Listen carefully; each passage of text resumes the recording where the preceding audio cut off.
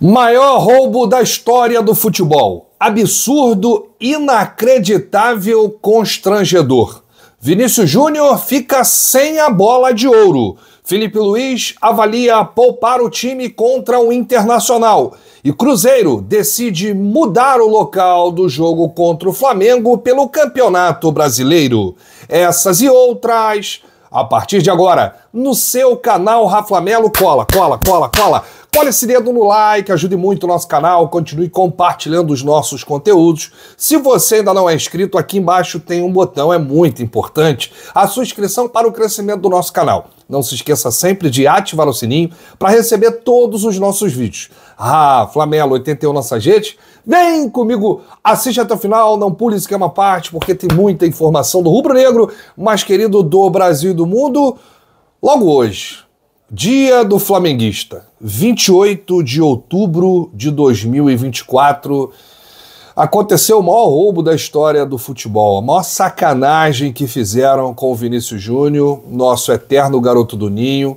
Foi um absurdo, foi constrangedor. Acho que essa é a palavra que define esse momento desse prêmio fajuto aí da bola de ouro. Eu, sinceramente, não sei quem é que faz isso quem é que vota, quem é que organiza, quem participa do processo, mas escolheram, né?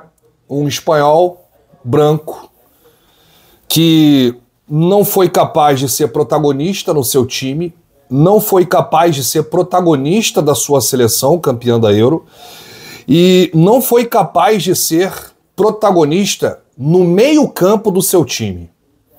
Nada contra o Rodri, ele não é nenhum perna de pau, mas tem muito jogador que merecia ganhar a bola de ouro na frente dele. Da última temporada, podemos dizer assim. Mas escolheram o Rodri. É uma sensação de injustiça que fica.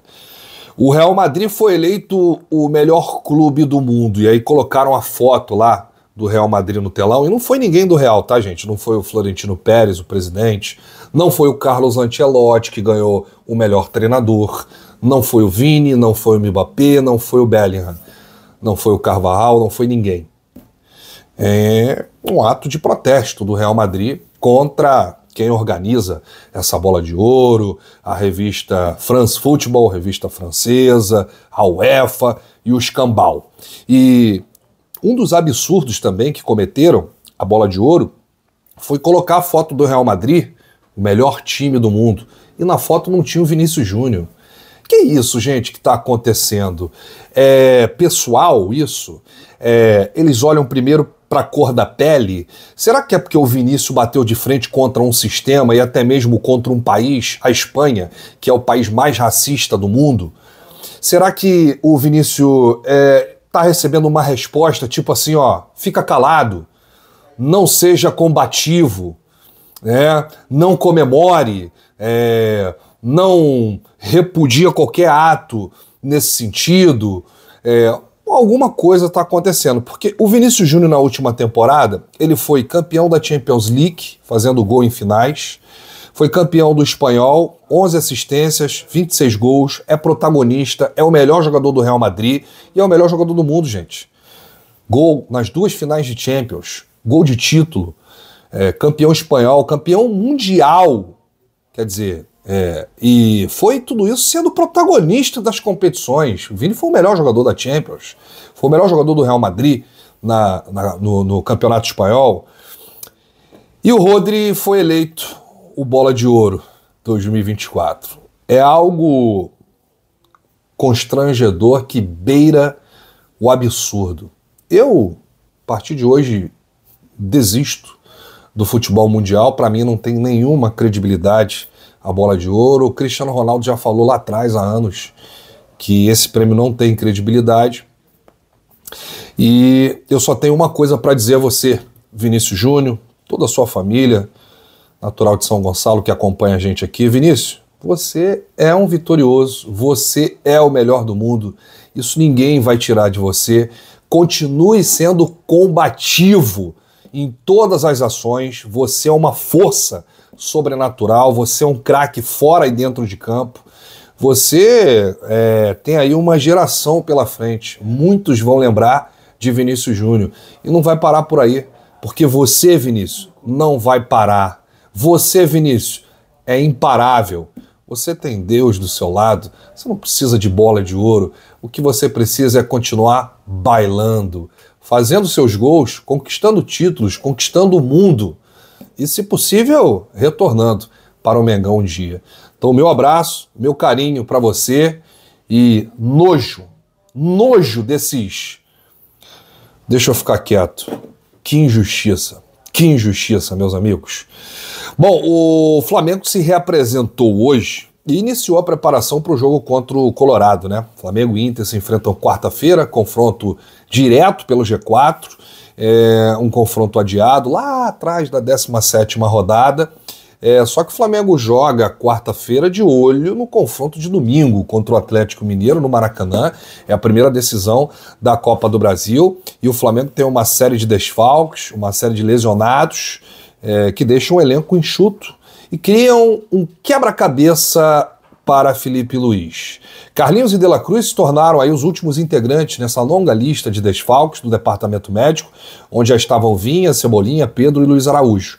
Na última semana, o atacante foi diagnosticado com uma lesão no adutor direito, enquanto o meio uruguaio apresentou problemas na posterior da coxa direita. O caso de De La Cruz é um pouquinho mais grave, ele ficará fora por pelo menos mais 15 dias o que o tira das finais da Copa do Brasil, por exemplo. Outro nome que entra no radar de preocupação é Alexandro, né? Não jogou contra o Juventude, lateral esquerdo apresentou um desconforto muscular na posterior da coxa direita após a classificação para o Corinthians. Mas não só as lesões assombram Felipe Luiz. O treinador, que já teve o desfalque de Bruno Henrique por suspensão automática contra o Juventude, continuará lidando com a ausência do BH nesse jogo contra o Atlético Mineiro, porque o Bruno Henrique tomou cartão contra o Corinthians e vai cumprir aí então a suspensão automática. E por último, Léo Pereira e Arrascaeta levaram o terceiro cartão amarelo, são desfalques contra o Internacional. Fabrício Bruno e Alcaraz surgem como favoritos para as vagas. Quem certamente vai jogar são Pulgar e Bruno Henrique, já que ambos estão suspensos domingo contra o Atlético Mineiro. E como o jogo desta quarta antecede a final, Felipe Luiz não descarta preservar alguns atletas. Em coletiva, o treinador abriu o jogo e lamentou o elenco enxuto, mas afirmou que o objetivo é vencer o Internacional e que as ambições do Flamengo no Brasileirão se, se passam por esse confronto direto duelo atrasado da 17ª rodada vira uma final antecipada e uma disputa direta por uma vaga no G4, né, já que o Flamengo tem 54 pontos e o Inter tem 52. Vamos ouvir aqui, resgatar o que disse Felipe Luiz na coletiva.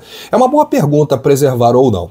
Temos esse jogo muito importante para gente. O Inter é um time muito forte. Vou começar a preparar e estudar para esse jogo a gente está com um grupo muito enxuto, não podemos preservar muita gente, porque somos os que somos. Temos lesionados, lesões graves, então já somos poucos. O que eu miro agora é esse jogo. Claro que a final tá aí, é o jogo do ano. Todo mundo sabe a importância que tem esse título aqui. Preciso de todo mundo. Alguns vão jogar, alguns vão descansar, mas sempre pensando em vencer o Inter, que é o mais importante. Bom, Felipe não poderá contar novamente com De La Cruz e Bruno Henrique, né? que também estavam fora contra o Juventude, contra o Atlético, né? Então essa dupla já é desfalque certo além do Pulgar. Já tem três desfalques aí contra o Atlético Mineiro no primeiro duelo da final da Copa do Brasil, De La Cruz, Bruno Henrique e Pulgar. Então é hora aí de acionar o Michael, na ponta esquerda, né, contra o Galo. É hora de acionar o Everton Araújo, que foi muito bem contra o Juventude. E é possível também o retorno do Alan ao meio-campo. Eu tenho aqui até uma provável escalação do Flamengo, né?